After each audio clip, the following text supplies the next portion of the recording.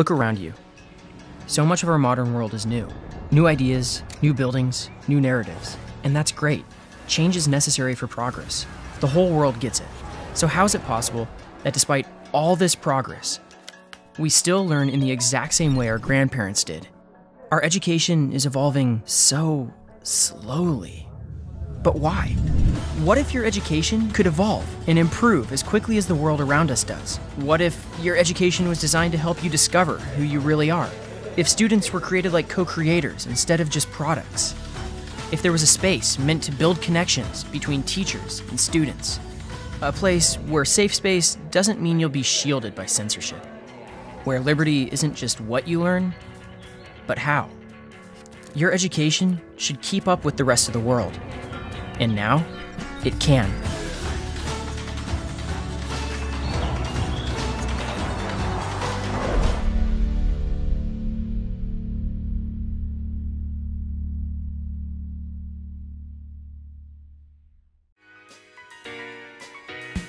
La universidad es un lugar de innovación, por eso innovación y universidad son la misma cosa.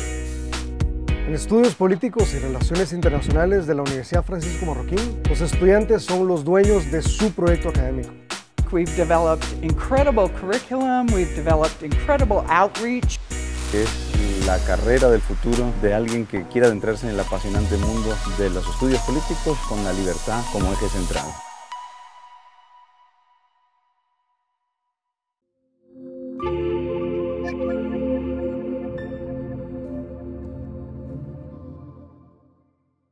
Hola, bienvenidos todos. Mi nombre es Pilar Jiménez y yo coordino la carrera de Comercio y Relaciones Internacionales eh, del EPRI, que es el Instituto de Estudios Políticos y Relaciones Internacionales de la Universidad Francisco Marroquín. Em, hoy eh, intentaremos acercarnos a dar eh, respuesta a las siguientes interrogantes. ¿Se puede triunfar en un mundo que tiene Amazon? ¿Se puede competir en escenarios en los que dominan las empresas multinacionales? ¿El mercado tiene un espacio para todos? ¿Los pequeños proveedores pueden sumarse exitosamente a las cadenas globales de valor? Bueno, esta y más preguntas eh, las discutiremos y en realidad tratará de iluminarnos con sus respuestas, ciertas reflexiones, Juan Pablo Lisca, que es CEO de Star Trek SA. Él tiene estudios en Administración de Empresas y Computer Science en Georgetown. Ha trabajado como consultor en Estados Unidos y junto a su hermano ha fundado distintas empresas de, tecnología tales como Star Trek, Aerobots y Chemic. Eh, bienvenido Juan Pablo. Gracias Pilar. Em, eh, eh, la empresa Amazon es muy famosa, todos conocen algo sobre ella, pero es un peso más pesado de lo que a veces nos damos cuenta. Entonces, quería repasar qué es Amazon eh, cómo funciona Amazon y qué implicaciones tiene para el, resto del ecosistema económico, las empresas de todo el mundo eh, y, sobre todo en nuestra región. Entonces, una cosa a tomar en cuenta impactante de Amazon es, y estos solo son los datos de Estados Unidos porque están, operan en, en más de 15 países, pero tienen solo en Estados Unidos 126 millones de suscriptores de Prime en un país con una población de 209 millones de adultos. Entonces, es una dominancia tremenda. Es una empresa que creció de nada a tener eh, suscripciones en el 80% de los hogares en 25 años, poco más. Em, tienen además 1.300.000 empleados, de, los de los cuales contrataron más de medio millón en el último año. Entonces, cuando uno piensa en una organización así, ¿cómo pueden ser capaces de crecer a esa velocidad, siendo ya gigantes, integrar esa cantidad de gente y seguir operando eficientemente? Es, es increíble. Entonces, lo, lo mencionan en los medios, pero cuando uno realmente se pone a pensar, vendieron 386 mil millones de dólares en el 2020, que es 32 veces el presupuesto del gobierno de Guatemala. Eh, otro dato impactante es que un picker de Amazon hace 350 picks por hora, trabaja turnos de 10 horas, 4 días a la semana, después descansa. significa que durante su turno, que tiene un descanso en medio, pero hace un pic cada 7 segundos. Cada 7 segundos agarra un producto y lo mete en una caja. Em, ¿Cómo lograron esto? Entonces, una de las claves es que fueron primeros, ¿verdad? Eh, Jeff, Bezos em, se dio cuenta muy temprano que el Internet era, estaba creciendo a una velocidad fenomenal, renunció el muy buen empleo que él tenía y se fue al oeste em, a, empezar algo con algo de inversión de, su familia. Realmente no tenía tantísima inversión, pero algo tenía. Em, pero sí fueron, fueron pioneros. Eh, empezaron cuando todavía nadie se daba cuenta de lo que eso podía hacer y muchos pensaban que él estaba loco. Ahora, con, también cómo lo lograron, según el propio Besos, eh, estando obsesionado con el cliente. Em, me imagino que muchas de estas cosas, esa es parte, digamos, de la leyenda que cuentan y es, es una realidad también. Hay que estar muy obsesionado con el cliente y toda la empresa de un millón y medio de personas están enfocados en, en producir un cliente satisfecho. Eh, y si no tuvieran ese norte, si ya se hubieran perdido, sería muy difícil manejar un barco de ese tamaño. Em, pero me imagino que no lo sabían todo desde el principio. Otra cosa que cuentan ellos en, la, eh, en su mitología de cómo, cómo lo lograron o, viendo para atrás, teniendo este eagerness to invent, que le llaman, ¿verdad? Ese gran deseo por inventar. Y, aquí en esta imagen tal vez todos reconocen ya el Echo Dot, que es una bocina que también decenas de millones de hogares han invitado este micrófono espía a sus casas eh, y tiene pues cómo lograr que tantos millones de, personas estén dispuestos a aceptar un micrófono que todo el tiempo está escuchando en su casa. Eh, tienen que confiar mucho en la empresa para que alguien pague por, por introducir esto en su casa. Eh, pero también, o sea, reflejo de, de la creatividad y tal vez la pasión por la tecnología que tiene, tienen desde su fundación. El fundador me habías preguntado un poco antes, Pilar, ¿quién es este Jeff Pesos? ¿De dónde viene él? Sí. Em, tal vez ya, ya conocen, pero repaso rápidamente. Él, nació cuando su mamá tenía 18 años.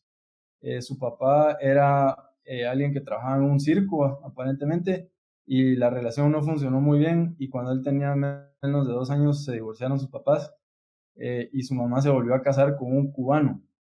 Entonces, creció en una casa, o sea, con un papá inmigrante y latino.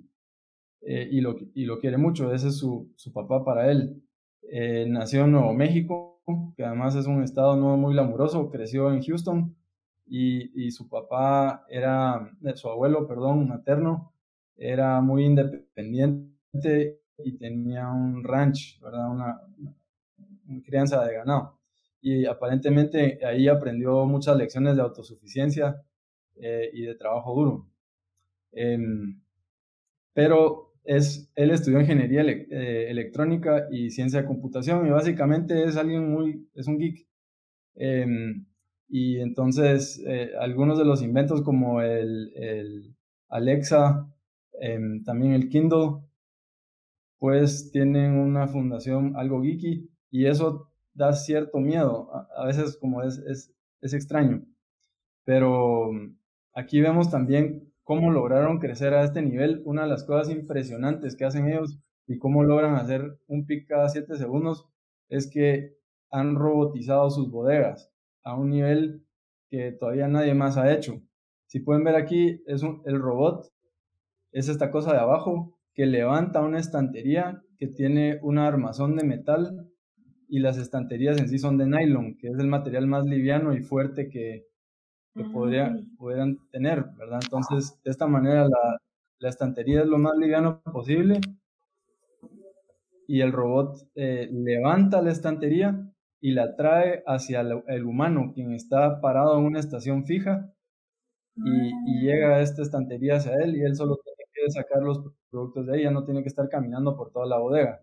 Okay. Además, no tiene que haber tantos pasillos en la bodega. Ah, claro. Tenía que mencionar esas cosas. Eh, pero se ahorran tener eh, pasillos, entonces la bodega es súper eficiente.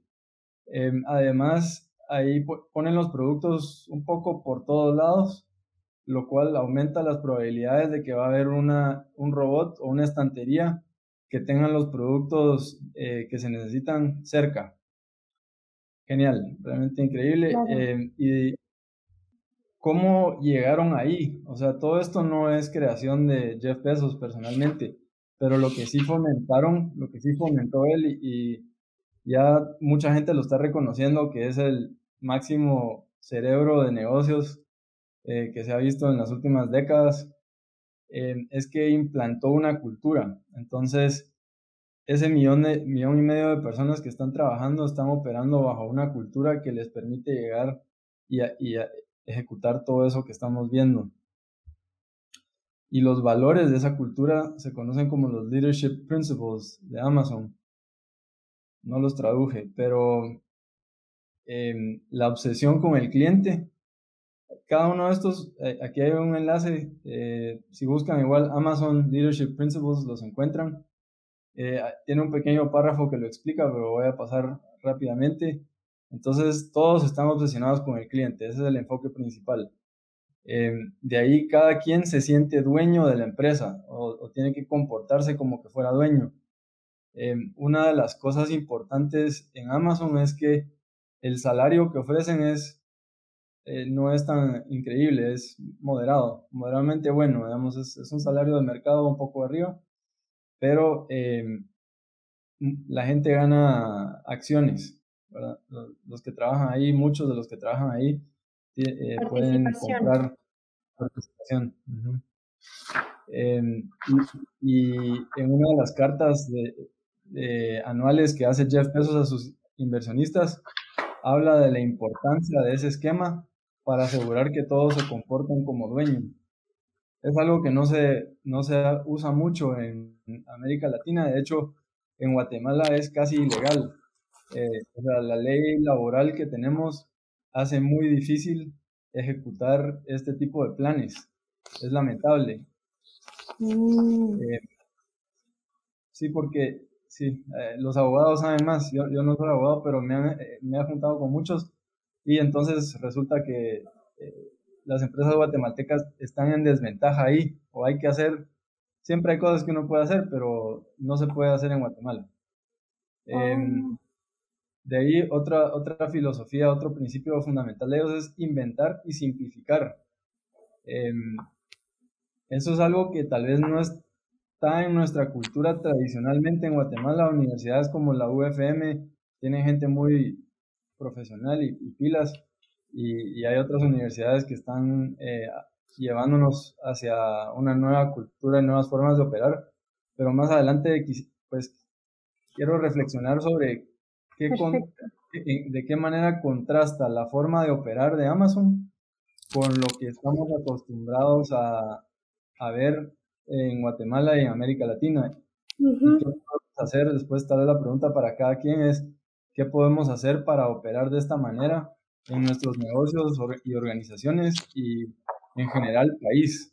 Tenemos que, eh, no, nos sale caro algunas asperezas, algunas ineficiencias del el ambiente legal en el, en el, que vivimos. De ahí, pues, eh, ellos consideran que un líder debe tener razón una gran parte del tiempo, entonces ahí el reto es cómo lograr tener razón. Eh, o cómo lograr eh, tener mejores liderazgos, ¿no? También. Sí, pues e, ellos, ellos consideran que todos estos son aspectos de un buen liderazgo. Entonces, eh, el liderazgo debe ser compartido entre todos los miembros de la organización. No, no es solo una persona de líder, sino todos son líderes. Y estas son las cualidades que debe desarrollar alguien que quiere ser buen líder, o sea, cualquier miembro de la organización. Em, de ahí, bueno, eh, aprender y tener curiosidad contratar y desarrollar la mejor gente, insistir en los mejores, los más altos estándares de trabajo, o sea, no conformarse con, ah, así que se vaya, ¿verdad? Está más o menos bueno. Em, pensar en grande, que lo, lo, que para ellos significa grande es impresionante. Eh, bias for action, que es em, actuar, o sea, tener el instinto de actuar para resolver los problemas. Eh, no solo movido por la acción. sí. No solo quedarse en discutir qué será, sino bueno, implementemos. Y, y al implementar se ve eh, si la idea era buena o no también. La frugalidad, eh, ganar la confianza de los demás, eh, no, no esperar que yo soy el jefe o yo soy el presidente, yo soy qué sé yo, entonces todos tienen que obedecer y, confiar en mí. Em, dive deep es ir al, ir al detalle, entrar hasta el detalle em, para entender por qué algo sucede, por qué algo funciona así. A veces eh, es muy tentador solo pintar con brocha ancha, a ver las cosas en general y requiere mucho esfuerzo de uno eh, entrar al detalle para entender la dinámica de por qué las cosas son así. Si aplicáramos estas, estos principios en general, en, en todas las áreas, digamos, de un país, en medicina, en negocios, en administración pública, eh, podríamos lograr mucho, una gran satisfacción del cliente, si, si nos enfocáramos ahí. Em, de ahí, pues, eh, tener columna vertebral, o sea, decir lo que uno piensa. Eh, y una vez tomada una decisión en equipo, pues, comprometerse a ayudar a, a, a, ejecutar y entregar resultados. results. Al final los resultados mandan. Entonces, la otra cosa, ¿cuál es la actitud de, esta, de esa civilización, o sea, de esta organización o cultura? Eh, puse esta imagen aquí, es un poco dura, pero creo que es certera. Eh, el, el, lema, digamos, creo que la actitud es de relentless, le dicen ellos, que significa implacable o despiadado. y, y por lo que he visto de, cerca y de lejos de los integrantes de esta cultura, es un poco cierto y no, o sea, no, no son ositos de peluche. Eh, pero ahí em, de ahí, ¿cómo se percibe esta cultura? Hace unos años atrás, eh, el New York Times hizo una serie de investigaciones sobre cómo funcionaba, eh, también eh, Frontline y PBS, la televisión pública de Estados Unidos, han hecho investigaciones y reportajes sobre cómo es vivir ahí, trabajar en Amazon y estar en ese ambiente, y básicamente es difícil, es, es retador. Esa es la imagen que tienen, que proyectan, y debe estar, me imagino que está basada en, en, realidad. Em, esa percepción les beneficia de cierta manera, eh, porque los clientes al final somos clientes porque nos llega el producto rápido al precio que queremos em, y no tanto por que nos preocupemos de cómo es la vida de quien decide trabajar ahí. Eh, cuando uno entra a los sitios donde evalúan los lugares de trabajo, em, tiene bastante buena evaluación Amazon a pesar de, de esos artículos porque quien le gusta trabajar, trabaja ahí y quien no le gusta, trabaja en otro lugar. Claro. Eh, y la ventaja es que en trabajos, digamos, de bajo nivel educativo, que podría ser eh, un vacacionista de un colegial o algo así, pagan 15 dólares la hora por empacar. Y eso es bastante buena paga, casi el doble del, del salario mínimo que, que paga en otros trabajos para alguien que no tiene mucho mucho entrenamiento todavía o mucha capacitación. Entonces, tal vez el, a lo que quería llegar yo con todo esto es qué implica, qué implicaciones tiene que exista un monstruo de esta escala que además es ahora ya el líder en la India en comercio electrónico. Que hasta hace poco no lo era, ¿no? O sea, quiero entender que, que, que ha sido, eh, o sea, no, no sé si avanza tan lentamente, pero Amazon de alguna manera va como conquistando eh, lugares donde ya había un actor que ofrecía los servicios. Sí, sí, en, en la India el, el líder era Flipkart, que fue una empresa, no sé si eran ex Amazon, pero gente de la India eh, la fundó y hasta unos dos años más tarde entró Amazon allá. Y ahora ya si uno, si uno se pone a ver los indicadores em, de tráfico y eso en el Internet, ya igualaron a los, a los nativos, digamos. Ahora eso es bien insólito como pensando eh, quizás también en la, en la cultura india. Eh, por ejemplo, en el caso de la Coca-Cola, eh, no hubo caso que, entrara y lo que hicieron fue que compraron, o sea, la Coca-Cola se hizo de la bebida cola que consumían los indios y, y en el fondo la compraron y esa es la marca como, eh, como más vendida o hasta algún momento fue así. Quiero decir, como la, la India no es un mercado sencillo, es Oriente, es, es otra cultura, o sea, está eh, al otro lado del planeta que en el que estamos al que estamos acostumbrados a ver, ¿no?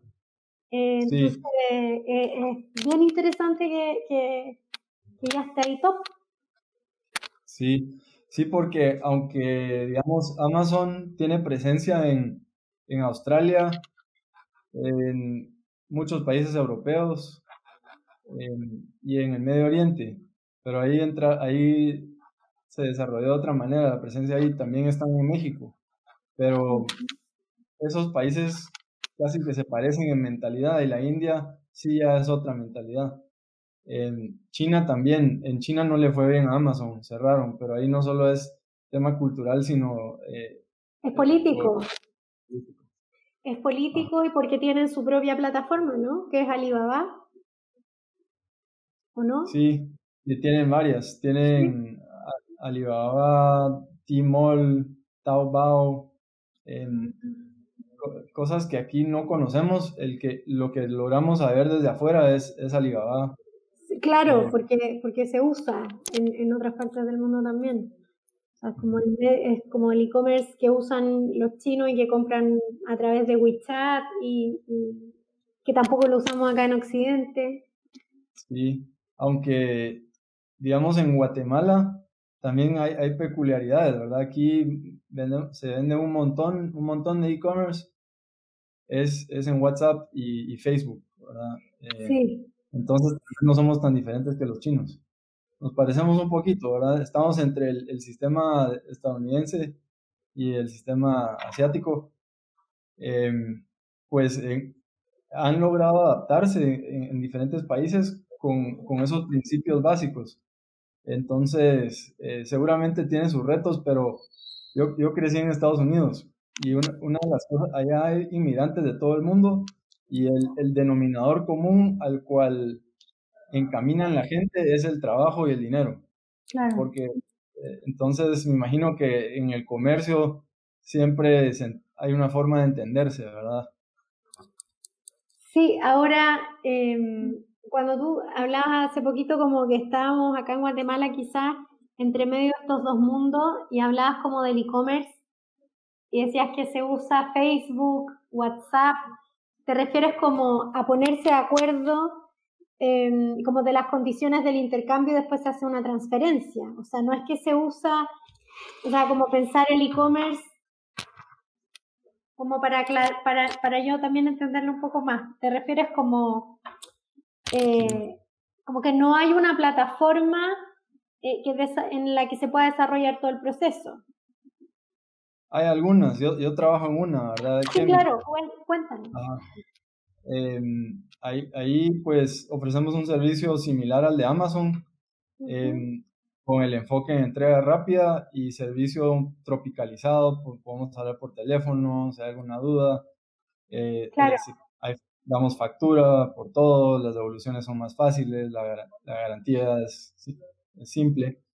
Eh, pero eh, de todas, la mayoría de, digamos, el, el, comercio electrónico en Guatemala es por chat. Eh, claro, informal, es como un comercio electrónico entre comillas. ¿Sí? Sí, y lo cual está bien, la verdad es un, es un ecosistema distinto y, y está muy bien que mucha gente pueda tener acceso a, a, crecer su comercio sin tener que tener, digamos, algunas de las limitantes tradicionales que teníamos en Guatemala, es que un comercio para prosperar tenía que poder pagar un local en una ubicación clave. Ahora, eh, además, nosotros también trabajamos con fabricantes, importadores, eh, y ellos ya no tienen que incurrir en el ni siquiera de armar una bodega, eh, atender chats, o sea, así como nuestro servicio también viene a bajar las barreras de entrada al comercio. Sí, es que yo te iba a comentar como en base a lo mismo que me quedé pensando. Eh, yo, yo llegué eh, hace un año a vivir a Guatemala y, mm, eh, y entonces me ha llamado mucho la atención justamente una cosa que tú estabas diciendo, que como en estos sistemas como más informales de, donde se establece el intercambio, ya, sea en Facebook, WhatsApp, Instagram, es, súper profundo o súper grande el nivel de confianza que se establece entre como los actores que desarrollan el intercambio. Porque sí. eso me llama mucho la atención, como poniéndolo quizás a un lado en la confianza o el grado de confianza que expresan los ciudadanos guatemaltecos eh, a sus instituciones. O sea, hay una super confianza entre individuos o sea, yo por el WhatsApp digo que me vayan a, dejar algo y me lo van a dejar sin que yo haya pagado y se lo pago mañana y después seguimos como eh, realizando como intercambio y eso yo lo encuentro eh, súper notable. Excelente punto, Pilar, totalmente. Eh, y aquí, digamos, yo, yo crecí en Estados Unidos, pero llevo 19 años de haber regresado. Vivía allá 18 años, Mitad y mitad. Llevo bastante. No, ya, soy más guatemalteco porque me fui, tenía seis años cuando me fui, entonces ya pues, merezco, el, merezco el pasaporte, merezco el título con mucho orgullo. Eh, y cuando regresé aquí era, era extra choqueante eso, porque aquí había mucha diferen, muchas diferencias, una estratificación grandísima sí. y mucha desconfianza entre la gente. Eh, o por lo menos separación y desconocimiento. Y eso se ha ido disminuyendo. De hecho, Kemik es una palabra inspirada que no, no me inventé yo, pero eh, mi socio que, que, es profesor ahí en la UFM, em, y, y, es derivado de Kemonik, que es una palabra en, en cachiquel que significa unión de tejidos. Entonces, e, eso es lo que estamos haciendo con la confianza que desarrollamos aquí. También la gente que compra en WhatsApp y en Face. Es increíble cómo confían y nosotros también confiamos en mucha gente, en la gente. Y, y, la gente merece la confianza. Y, o sea, responde, pues somos gente confiable. Lamentablemente nuestras organizaciones no, no tienen esa reputación de merecer confianza en muchos casos. Eh, y, yo creo que mientras nos vamos acostumbrando a trabajar de esta forma, nosotros, eh, los ciudadanos, eh, el gobierno va a tener que levantar su nivel. Y, con el tiempo no vamos a tolerar ineptitud, mal servicio, etcétera. Todos vamos a esperar de nosotros mismos dar un buen servicio y rendir cuentas. Claro, y eso viene como gatillado o el desafío, eh, como tú lo estás poniendo ahora, o sea, viene como desde, quizás como desde la base hacia arriba por un lado, pero por otro lado tenemos como, y lo que estamos hablando ahora es de un actor como Amazon, que quizás funciona de distinta manera para los mercados latinoamericanos. Sea, como eh, no es desde los ciudadanos que van generando como este tejido de confianza, o que, o que eh, gatilla como el desafío para las instituciones, sino que en el caso de Amazon es como, como el hegemón que, que nos tira a, las empresas o industrias latinoamericanas, ¿no? Que, que algo lo hablábamos. Nos, nos empuja, pues, es, es como una, un objeto duro y firme, que es una pared contra la cual nos podemos chocar eh, y que también nos puede empujar hacia el camino correcto, pues. Así es la, el, la dialéctica, ¿verdad? De, la historia humana, siempre aprendemos unos de los otros, nos chocamos contra realidades eh, y vamos ajustando nuestro camino. Y, entonces sí, es, es, interesante cómo desde, el, desde abajo, ¿verdad? los individuos estamos usando el comercio electrónico para conectarnos con gente que nunca antes tal vez habríamos tenido una relación. Y también a la vez vienen actores internacionales a, poner una cierta pauta de qué se, qué se puede esperar. Em, una de las cosas claves es los precios bajos aquí en, Guatemala. Creo que por la ineficiencia, también por la falta de competencia que siempre había habido y la dificultad de operar, em, los precios de las cosas siempre habían sido muy caros, muy altos. Y entonces se buscaba, mucha gente hasta viajaba al extranjero a comprar sus cosas y, después con eso aguantaba un año o lo que sea. Ahora ya conseguimos buenos precios aquí porque estamos compitiendo, ¿verdad? Y eso es, eso es parte de lo que nosotros, digamos, como Kemi queríamos aportar al, a este diálogo de guatemaltecos e, eh, eso te iba a preguntar yo. Ahí estamos. Por ahí te iba a preguntar. Antes, como invito a las personas que nos están viendo, si tienen preguntas, que las, que las dejen ahí en la plataforma que, por la que nos están viendo y, nosotros las vamos a responder en un ratito, en unos minutos más. Em, Juan Pablo, de eso te quería preguntar, porque, o sea, de alguna manera existe este gigante que es Amazon y que llega, eh, eh, de alguna manera, em, como eh, agresivamente a instalarse en otros mercados que ya están como armados. Por ejemplo, está el caso este de, de, Polonia, que tú, que tú lo conoces bastante bien, ¿cierto? Y por otro lado, me, me parece o me queda a mí la pregunta sobre em, como Amazon que se instala en lugares eh, donde le resulta como competitivo, eficiente, que las reglas del juego acompañan para que continúe su crecimiento, ¿cierto?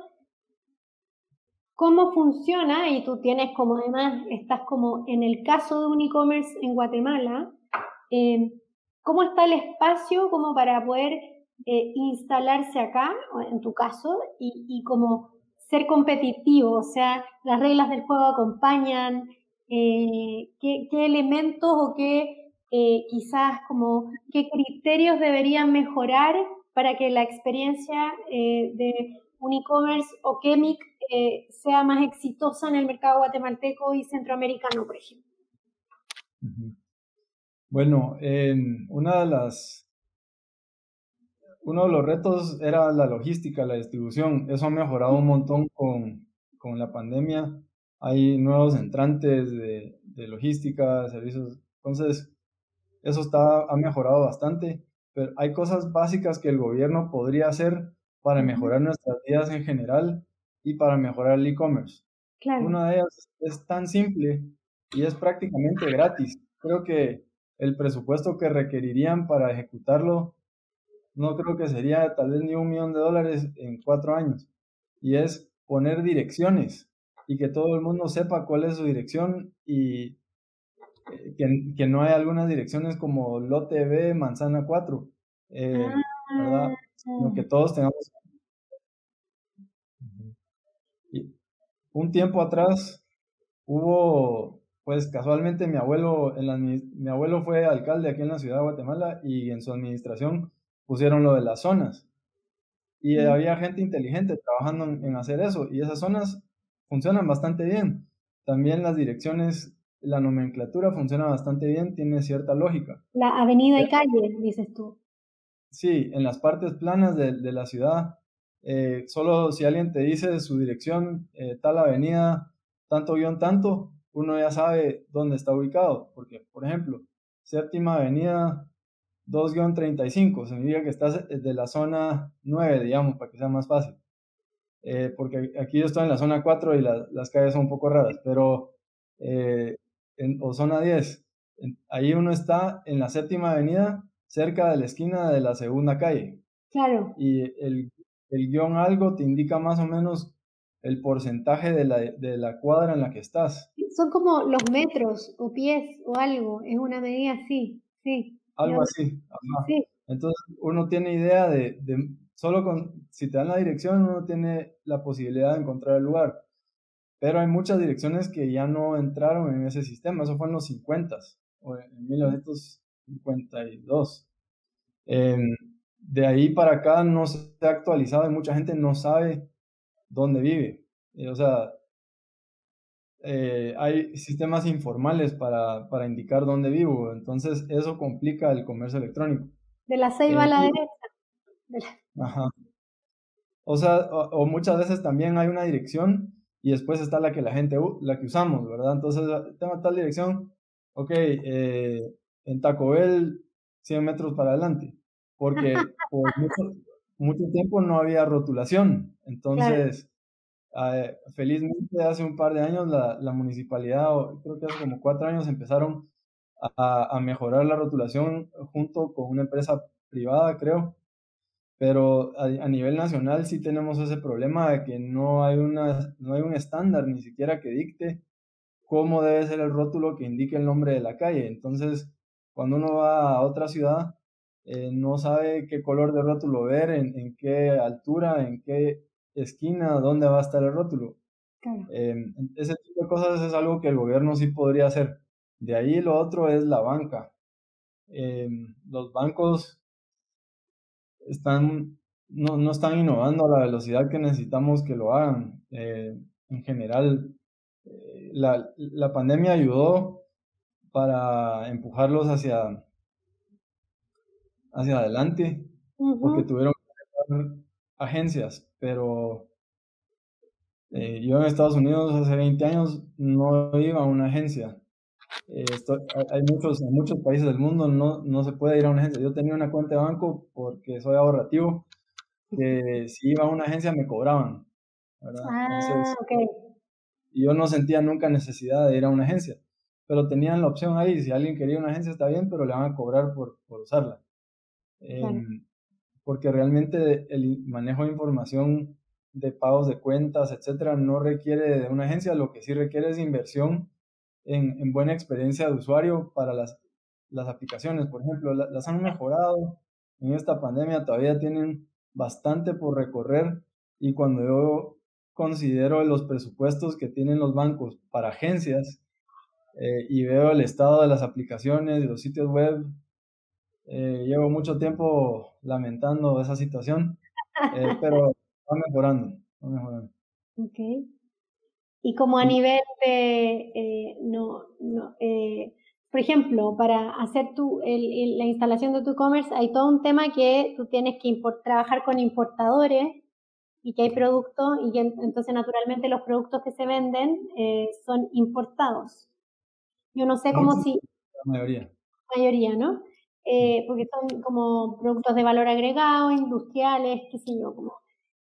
Y ahí hay un tema que o sea, si bien Guatemala lleva varios años ya como abriéndose eh, al mundo, yo todavía tengo la sensación que tiene como algunos aranceles altos, que no ha bajado, o sea, que, que, resulta como al final el producto, yo hago la comparación con Chile, pero me da la sensación que acá es al menos un 30% más caro que comprar en Santiago de Chile.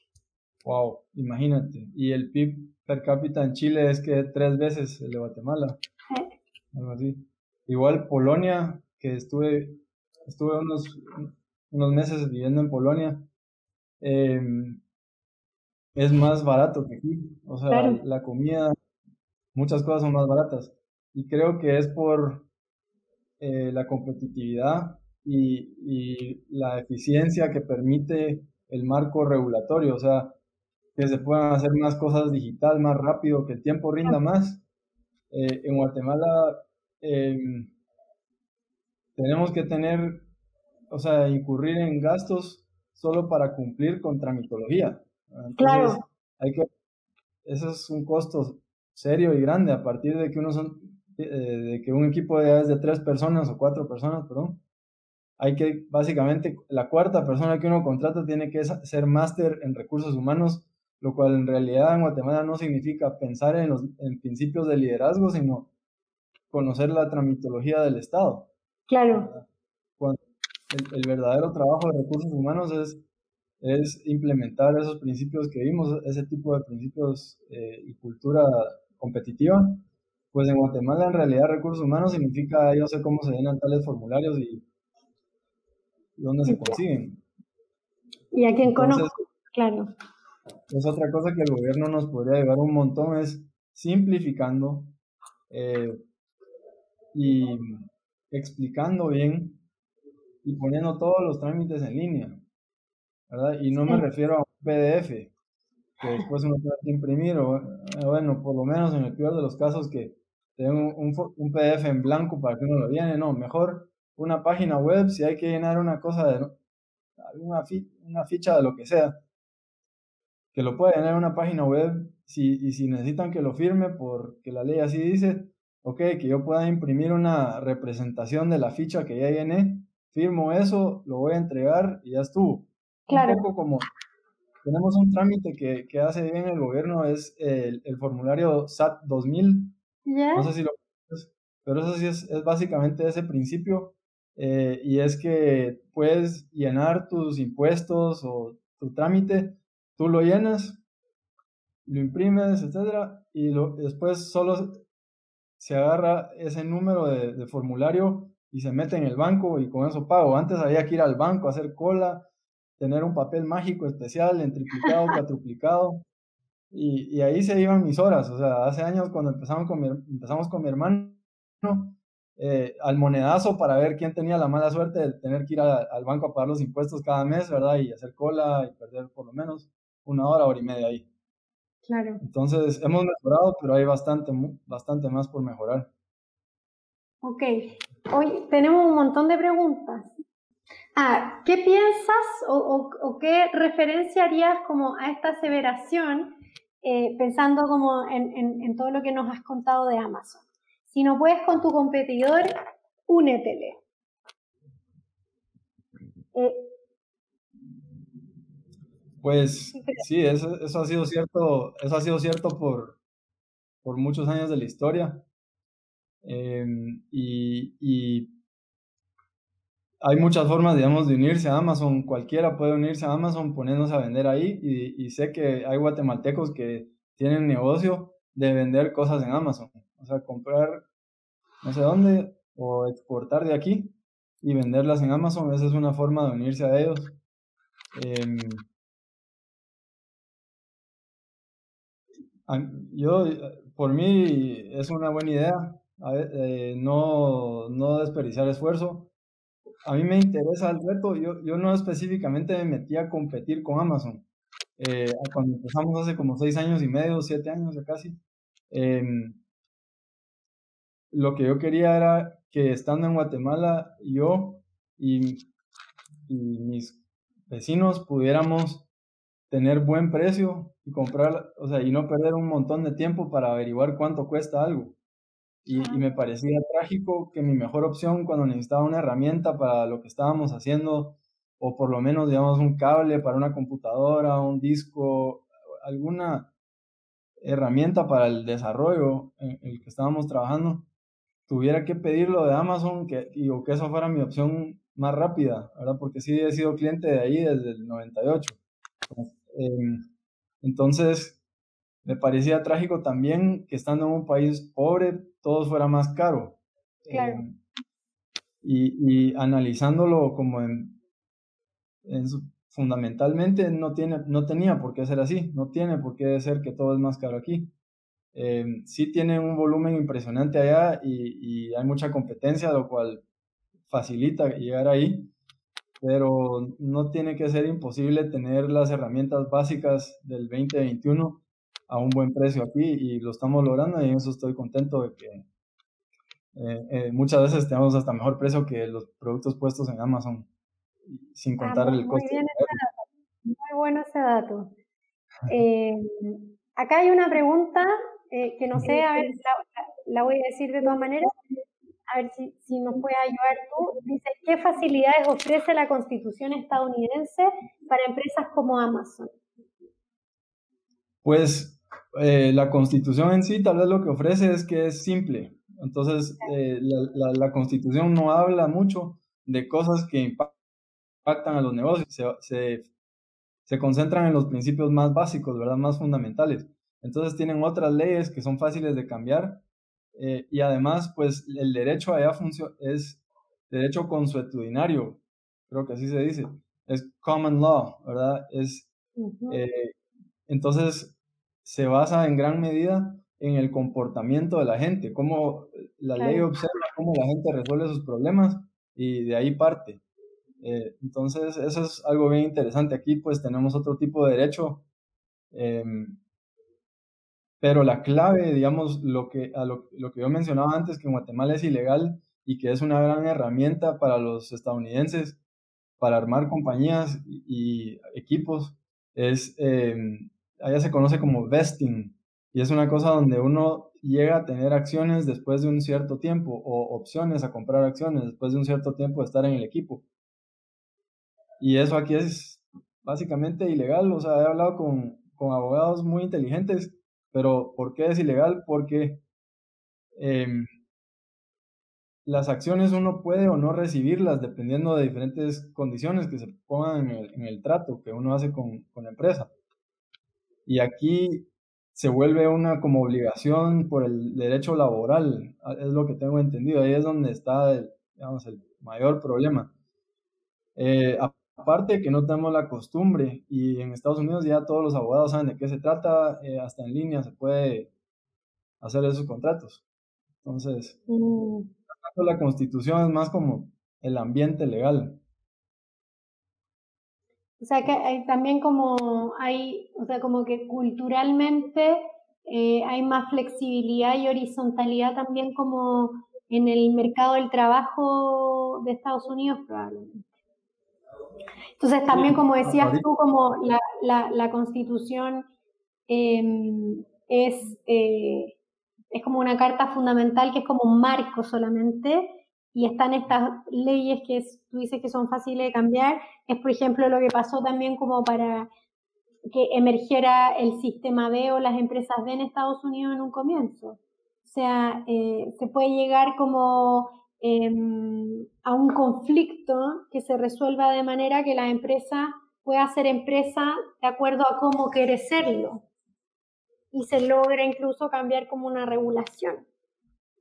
Ah, em, Sí, creo que sí hay menos, creo que la ley especifica menos de cómo debe de funcionar cada sociedad y cosas así. Aquí es importante, claro. Las empresas están hechas para, para, para generar utilidades y entonces si tú lo haces por medio de que los empleados sean accionistas o sean empleados o sean part-time o esa ya es otro, no es el relevante. Sí, aquí, por ejemplo, lo que mencionaste, que es ilegal el trabajo de tiempo parcial, pero todo el mundo lo hace. Es, es una de las cosas, ya, una, una persona admirable que tal vez más latinoamericanos podríamos conocer, bueno, es, es un sujeto, eh, es eh, Antanas Mocus, eh, que fue alcalde de Bogotá. Es un sujeto bien interesante, pero él, después de haber trabajado como alcalde, eh, estuvo un año de académico en Harvard estudiando el tema del conflicto entre la cultura y la, y la ley, ¿verdad? Que, es casi un problema constante que tenemos en América Latina que eh, no están en sintonía, en armonía la cultura y las leyes. Y, y, tal vez tenemos que ajustar nuestra cultura, pero tal vez también tenemos que ajustar nuestras leyes a que reflejen la realidad. Claro, y que y hay el típico dilema que las instituciones eh, evolucionan más lentamente que las sociedades, o sea, van como eh, tratando de agarrarle la cola a la evolución social. Y es como el, problema del mundo, en realidad. Hoy, Juan Pablo, te tengo una última pregunta, que, que, es, como desde el año pasado que se nos hacen como ineludibles. Tenemos que, tenemos que comentarlos, como un... Es imposible como dar, como evitarlo. Es, eh, la pregunta es, Amazon es una de las empresas ganadoras eh, de la crisis eh, ocasionada por el COVID-19? Definitivamente, definitivamente. O sea, sus, sus ingresos se duplicaron. No estoy, implicando, no, no estoy implicando que ellos hayan puesto el virus. no. no. O sea, ellos veían un futuro venir donde yo no sé si es un hábito que se forma o, qué, pero una gran parte de las compras que hacemos eh, es más práctico y cómo hacerlo desde casa. Y hubo esta situación, tal vez ellos ya lo habían visto venir, otros hay científicos que sí ya, ya tenían hipótesis, calculaban o sospechas de que algo así podía suceder, eh, pero estaban en el lugar correcto, en el momento correcto, con la tecnología correcta y listos para atender a la gente. Entonces crecieron un montón. Nosotros también crecimos, no tuvo nada que ver con el virus. Eh, o, sea, el, o sea, pero como para ponerlo en el caso guatemalteco, a ustedes como el COVID también eh, los, les ayudó en el fondo porque ha cambiado un poco como la, la forma de consumo debido a que hemos estado encerrados mucho tiempo. Sí, sí, y antes el comercio electrónico era como para algo raro, ¿verdad? Cuando nosotros empezamos éramos raros, igual en ese sentido parecido a, a porque en nuestro contexto no era muy interesante para mucha gente. Eh, y, y, de repente se volvió relevante, entonces ahora también en general hay, hay más eh, competencia, empresas grandes que nunca les interesó el comercio electrónico, ahora le ponen interés. Sea, como lo que pasa es como este, el, el, estas plataformas o la manera como de comprar así como sin moverte de tu casa, eh, eh, claro que se expandieron porque no, no teníamos, o sea, hubo mucho tiempo y en otras partes del mundo siguen sin poder como moverse de sus casas. Entonces la única manera como de poder eh, como adquirir bienes eh, es, así, o sea, como de manera remota, a través de un e-commerce. Y entonces eso como que hace que, que, estos modelos crezcan como a pasos agigantados, mucho más rápido de lo que se esperaba. O sea, esto fue como, como una wildcard que, que, que, que se apareció y a algunos les sirvió. O sea, este tipo de empresas, ¿no? Em, sí, la, las situaciones siempre cambian y cuando cambian el mundo, pues algunas empresas prosperan y otras se les hace más difícil su trabajo. Una cosa buena de este cambio y, de, y de que del e-commerce en general es que hoy día un guatemalteco que vive en cualquier parte del país tiene amplia selección de productos, eh, al igual que alguien que vive en la capital. Antes e, era otra de las diferencias que había entre el interior y la capital, era que en el interior había agencias guay y aquí había 20 tiendas. Ahora aquí hay cientos de tiendas y en el interior también. Entonces, eh, creo que la situación cambia y diferentes actores se benefician en, en, la nueva situación y esperemos que todo el país se beneficie de este cambio. Hoy estamos pero a segundos, pero entonces tú me vas a responder sí o no. ¿Hay espacio para todos? Hay espacio, hay espacio. Es, es, difícil, hay que ganárselo, nadie te lo va a dar, Ajá. pero hay espacio. Muy bien, muy bien. Y Juan Pablo, muchas gracias eh, ha sido súper entretenido conocer como más en profundidad o como hacer un poco el, el, trayecto de qué hace que Amazon sea Amazon, porque al final eh, me quedo yo por lo menos como con, con, con esta mirada como del, del tipo de liderazgo o que efectivamente existe un liderazgo y es también un segmento un espacio de trabajo para un tipo de personas no es para cualquiera. Y que también es legítimo, aunque pueda resultar eh, como que conflictuar a algunos, ¿no? Sí. Eh, entonces es como interesante verlo desde ahí también. Sí, hay, hay personas que le atraen cierto tipo de trabajo y retos y, mi esposa se desespera un poco conmigo porque soy algo hiperactivo. Eh, pero yo veo que la sociedad puede beneficiarse dándole espacio a los diferentes tipos de personas que existen para que hagan lo suyo y todos ganamos de eso, ¿verdad? Cuando los artistas tienen su espacio para hacer su arte, cuando los hiperactivos tenemos, o los geeks, eh, diferente gente puede hacer lo que son buenos, todos nos beneficia beneficiamos porque estamos conectados.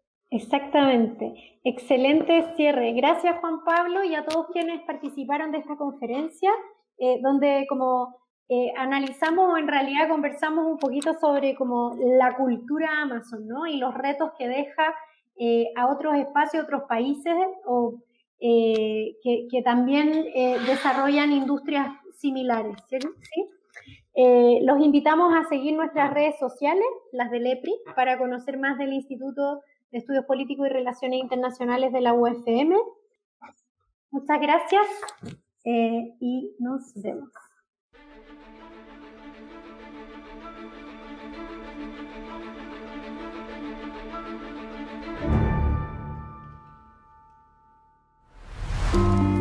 Hoy, el mundo busca cursos en línea. Hoy, el mundo sigue las tendencias del mercado. Hoy, el mundo necesita emprendedores. Hoy más que nunca, el conocimiento se dispersó y la Universidad Francisco Marroquín no cerró, se multiplicó en diversos hogares.